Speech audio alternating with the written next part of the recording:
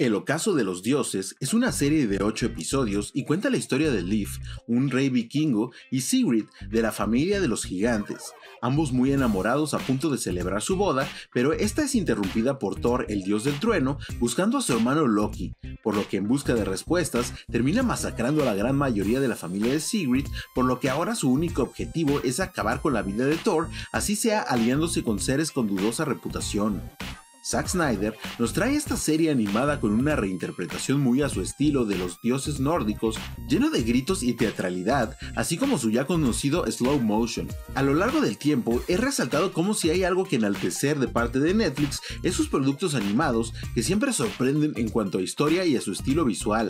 Sin embargo, lo digo con profunda pena al ser no solo fan de la animación de Netflix, sino de Zack Snyder, que el ocaso de los dioses no me terminó de convencer, ya que en cuanto a estilo de animación, me parece algo muy minimalista casi al estilo del difunto programa de animación de Flash, y que si bien cuenta con grandes secuencias de acción, así como escenas explícitas de índole sexual, siento que solo estaba buscando cubrir una fórmula de éxito, pero sin una buena construcción, ya que incluso las actuaciones se sienten como si los actores estuvieran hablando consigo mismos y que ya en edición los intentaran hacer que se escuchen interactuando juntos, utilizando acentos que se escuchaban falsos, y lejos de mantenerme inmerso, era muy común que volteara a ver cuánto tiempo le quedaba al episodio para que terminara